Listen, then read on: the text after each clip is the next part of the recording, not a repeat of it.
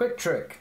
To get a heavier tone on your guitar, all you need to do is to get your sixth string down to D instead of E. Right now it's on E. We're going to put it down.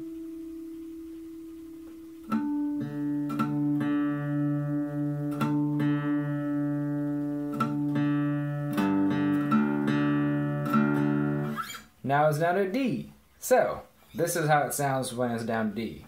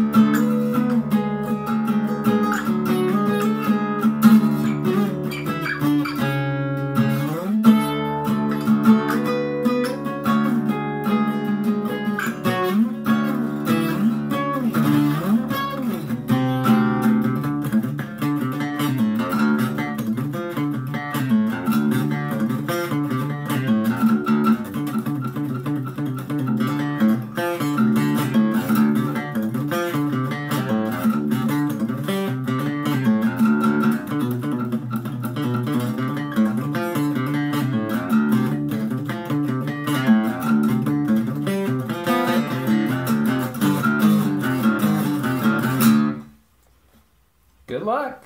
Subscribe to my channel. Subscribe now.